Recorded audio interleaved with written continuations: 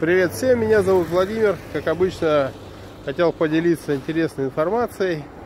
В частности, продолжаю делиться информацией об электровелосипедах. Вот.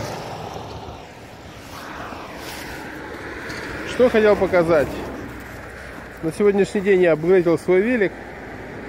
Получилась вот такая вот картина. Репортаж я веду непосредственно с поля ну, в смысле с трассы, где я встал колом. А встал колом по причине того, что у меня прокололось колесо. Вот.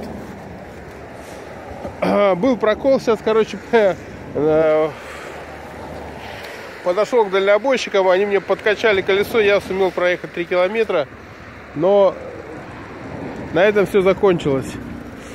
Вот, поэтому жду сейчас, газель должна аварийно приехать, в которой я все загружу и поеду домой. Потому что бортовать почему-то я не хочу. Есть камера, но это насос почему-то новый был, сломался. Вот. Короче, неохота мне в поле ковыряться, хотя можно было бы, камера есть. Насос у автомобилистов можно взять. Машин много, накачать и ехать. Ну ладно, ну да ладно. Вот, все-таки, как бы имейте в виду, что лучше с собой брать все, что, все, что нужно для каких-то аварийных случаев. А. Ну а теперь про велик, значит, здесь вот стоит огромный вот такой контроллер.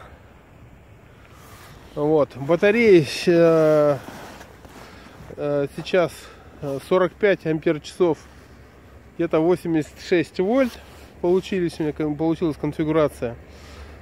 Здесь еще стоит резервная батарея Сейчас я даже покажу. Я оставил со старой конфигурации.